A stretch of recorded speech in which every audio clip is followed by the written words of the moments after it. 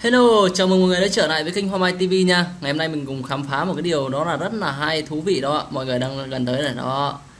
À có một số người cứ hỏi mình là cái chuyện mà mà mà bao giờ cửa khẩu mở cửa ấy nhá. Thì hôm nay mình trả lời luôn trong cái video này. Video này mình sẽ chủ yếu là cho mọi người xem là xem rằng từ Google Maps ở trên trên cao ấy mình xuống cái đập thủy điện Tam Hiệp mình ngó xem là nó có nhìn thấy cái hiện tượng mà lũ lụt hay là cái hiện tượng mà dân ờ, bị như nào hay không đó nhá còn bây giờ mình sẽ nói luôn, mình ở đây này, mọi người có thể nhìn thấy.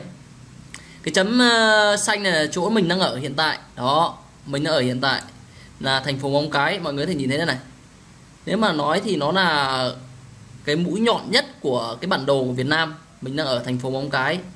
Và mọi người có thể biết được rằng là cái chỗ mình ở hiện tại đó, lại gần đây, lại gần đây, lại gần đây. Mình đã sử dụng Google Maps nhá chỗ mình ở hiện tại là chỉ cách khoảng độ đây này mọi người có thể nhìn thấy nhá. Mình đi thẳng một khoảng đầu 20 mét quẹo bên uh, tay phải đi thẳng một đoạn đầu uh, 5 mét 10 mét nữa là tới cái chỗ mà cửa khẩu để đóng dấu đấy. Mọi người có thể nhìn thấy là cửa khẩu quốc tế móng cái. Mình sẽ đóng dấu ở đây và mình sang bên Trung Quốc. Đó bên này bên này bên này bên Trung Quốc rồi. China Việt Nam fan đó. Nói chung là từ chỗ mình đang ở để đi sang bên Trung Quốc là mất khoảng độ ờ, uh, 2 phút đồng hồ đi bộ. Chưa đến 2 phút đó mọi người khoảng độ uh, trăm hơn trăm mét thôi uh, nói chung là rất là gần. Vậy nên mình sẽ nói cho mọi người biết rằng là tình hình ở cửa khẩu này đang đóng cửa. Đóng cửa mọi người nhá.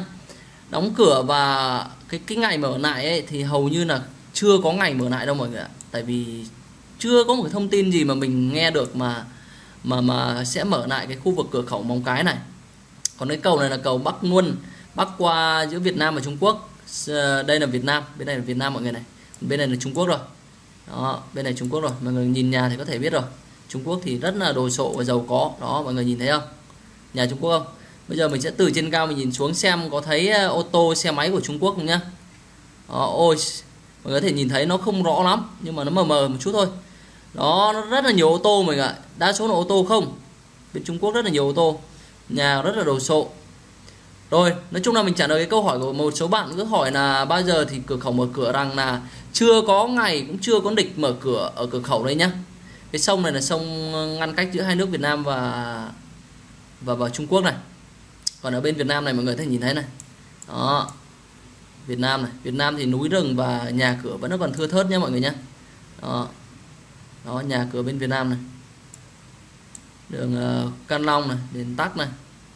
Đó nói chung là đang còn ờ, rất là thưa. Thưa dân ở, còn bên Trung Quốc thì phải nói là đất chật người đông nên nó dày đặc rồi.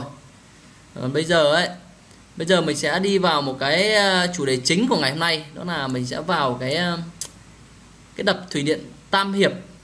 Mọi người biết là đập thủy điện Tam Hiệp là gì nữa thì trước giờ là người ta đang đồn rằng là đập thủy điện Tam Hiệp vỡ rồi là đập thủy điện Tam Điệp quá tải, là khiến nhiều người phải sống trong cái cảnh mà, nói chung là bị lũ lụt cuốn trôi đấy. Bây giờ mình sẽ vào đập thủy điện Tam Hiệp nhá.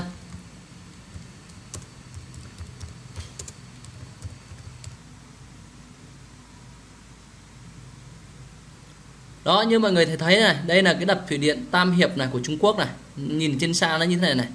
Ở đây thì nó dồn hết nước xuống đây. Đấy, một cái hồ chứa đây này, rồi nó xả nước xuống đây. Bây giờ mình sẽ phóng lại gần cho mọi người xem cái ờ, cái đập thủy điện này nó như thế nào nhá. Đó. nói chung là ở hai bên ờ, đây này hai bên ờ, xung quanh hồ cái hồ hồ hồ của đập thủy điện Tam Hiệp ấy, vẫn có rất là nhiều người ở nhá đây này. Rất là nhiều người ở dân cư cũng đông đúc đấy nhà cửa này mọi người thấy là nhà cửa này rất là nhiều. Chỗ này thì chắc mình nghĩ là ở trên miền núi rồi vùng cao rồi nên chắc chắn là cái nước nước ở đập thủy điện Tam Hiệp đấy sẽ không ảnh hưởng gì đến đây đâu mọi người ạ.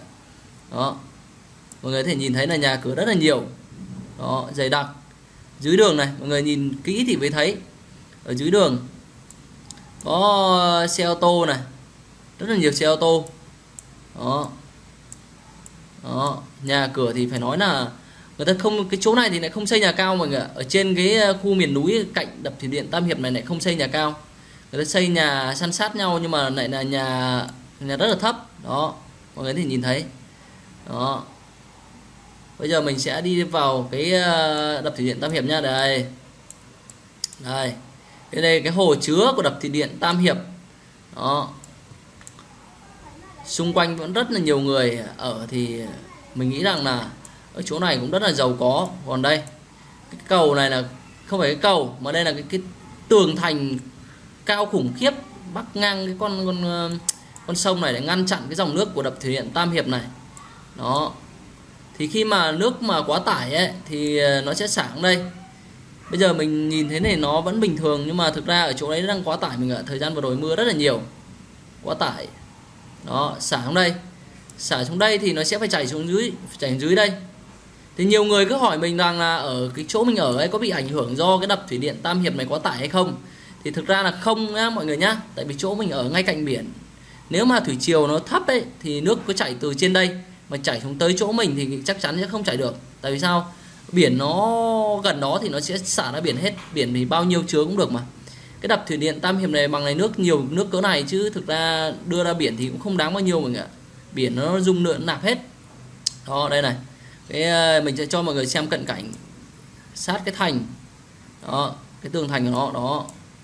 Cái này hình như là dài bao nhiêu cây số mà nó rất là dày mọi người ạ.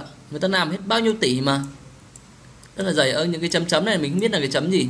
Không hiểu nữa. Còn cái ờ, độ dày của nó thì khỏi nói rồi, nó cao một trăm mấy chục mét á. Mình cũng chưa tìm hiểu kỹ nhưng mà tí nữa mình sẽ chèn cái số liệu của nó vào đây cho mọi người xem. Nhưng mà hôm nay mình chủ yếu mình quay cho mọi người xem cái hình ảnh của đập thủy điện Tam Hiệp này. Đó.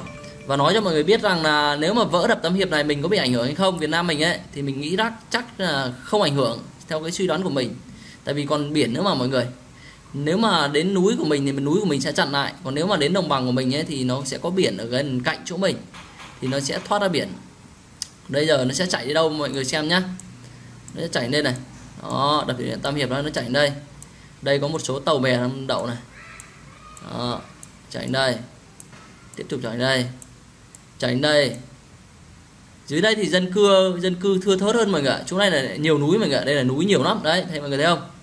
Nó chạy theo cái đường này rất là nhiều núi. Mọi người thấy nhìn thấy núi này núi xung quanh luôn. Nói chung là chỗ này là ít người ở hơn trên đập thủy điện Tam Hiệp mọi người nhá. Rồi tiếp tục nó chạy này. Mình cứ theo dòng chảy nó xem nó chạy đi đâu nhá.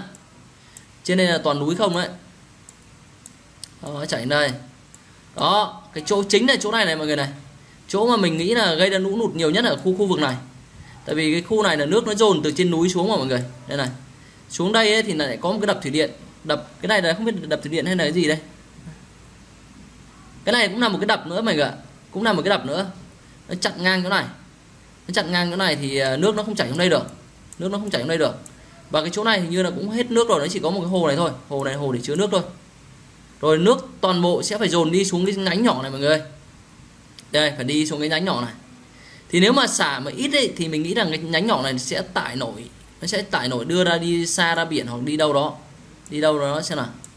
Đó rất là dài mọi người ạ. Rất là dài luôn. Rất là dài luôn. Nó ra những cái sông nhỏ mọi người ạ ra rất là nhiều sông nhỏ. Đó. Nhưng mà nếu mà xả nhiều ấy xả nhiều thì chỗ này đã bị bị bị đập nó chắn lại rồi. Và nên nó còn dư mỗi bên này thôi. Ở bên này thì mình nghĩ rằng là là là là là, là, là, là, là không chịu nổi nếu mà đập thủy điện xả. Đó thì khi mà đập thủy điện nó xả mạnh ấy, xuống thì mình nghĩ rằng cái khu vực mà bị ảnh hưởng nhất là cái khu vực này là mọi người này. Đấy khu vực dân cư đây. Dân cư đây. Còn uh, như ở bên trên đây thì mình thấy toàn núi không à? Đây này lên trên đây là núi không rồi.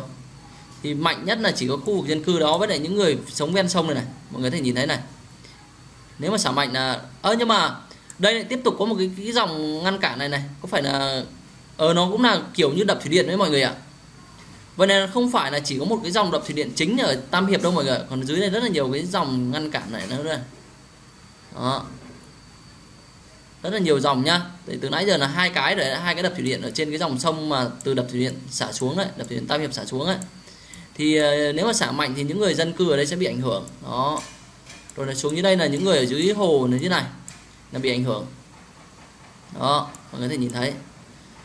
Đó đó còn cái chỗ này cái chỗ đập thủy điện Tam Hiệp này này nó xả mạnh ấy, thì sẽ bị những cái khu vực này bị ảnh hưởng thôi. Còn ở Việt Nam mình thì chắc chắn không bị ảnh hưởng rồi tại vì đây nhá mình xem cái khoảng cách từ Nghi Sương từ Hồ Bắc đi Hồ Bắc đi xuống tới ờ, chỗ mình ở là xem nó có dài không nhá. Đây từ Hồ Bắc là mãi trên đây này mọi người này. Mãi trên đây. Từ đây xuống mãi dưới đây với là chỗ của mình ở này là móng cái này đây này mọi người có thể thấy này. Đó rất là xa nhá mọi người nhá. Xa kinh khủng luôn. Đấy mình ở mãi dưới đây cơ. Ý nãy mình nói là nếu mà ví dụ như là nó xả mà mà mà tràn được xuống tới chỗ mình thì khả năng là không có rồi. Nhưng mà nếu mà có tới ấy, thì nó sẽ đổ ra biển đây. Thì chỗ mình đang ở đây. Thì tới đây ấy, nó sẽ đổ hết ra biển biển đây rồi. Đó mọi người có thể thấy này biển này. Đó. Đây biển hết rồi. Thì nói chung là chia sẻ cho mọi người biết rằng là đập thủy điện Tam Hiệp thì nó cách xa mình như thế nào. Thứ hai là Ờ, nó có vỡ hay là nó có như thế nào thì cũng không bị ảnh hưởng tới mình đâu. Mình thấy nó rất là xa đấy là theo cái phỏng đoán và theo cái cái cái cái, cái, cái xem của mình nhá. À, mọi người thấy video mình hay thì cho mình một like và bình luận dưới nhá. Rồi chào mọi người nhá.